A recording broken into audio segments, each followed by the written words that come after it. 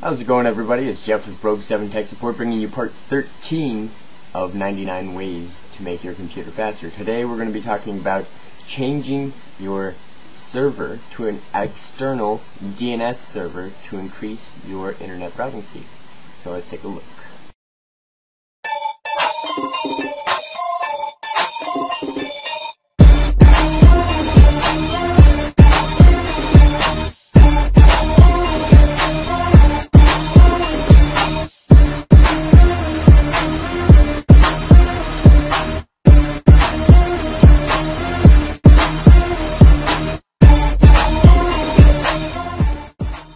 Alright, so first thing you're going to do is go to the website I left in the link here. It's www.opendns.com and I'm going to show you a few different things you can do with OpenDNS.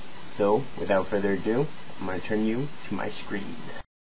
Alright, so the first thing you're going to start to do is open up a web browser. Go to www.opendns.com and if you want to get straight to the dope, then you're going to scroll all the way down right here in the bottom right hand corner. It says OpenDNS you're going to copy this.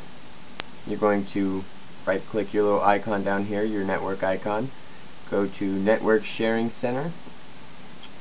Go to view status properties.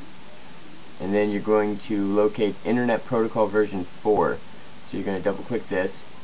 And then you're going to click here where it says use the following DNS server addresses. I'm going to paste the first one in the top. So let's see we're going to highlight this, copy it, and paste the first one into the top, and of course the second one into the bottom area. Hit OK, OK, and then close. That part's really easy. Uh, if you'd like to take this a bit further, if you have a wireless router, you click the Start Using OpenDNS button here, it will take you to this page. You can it will tell you what I just told you if you click here on the computer or router or if you even have a DNS server you can use OpenDNS with your existing DNS server. Um, but we're going to click on router.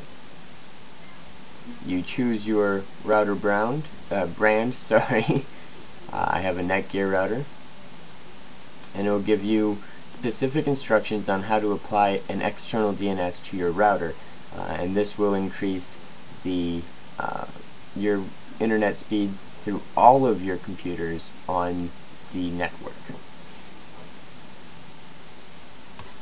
As always, I hope this little tip helps you speed up your computer even just a little bit. If you like my work, please feel free to comment, rate, subscribe, favorite, all that good stuff. I would greatly appreciate it. Until next time, this is Jeff with Rogue 7 Tech Support bidding you farewell.